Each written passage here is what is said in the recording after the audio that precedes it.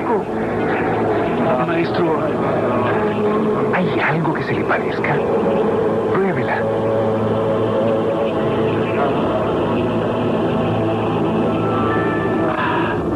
No hay. Es bacanísima.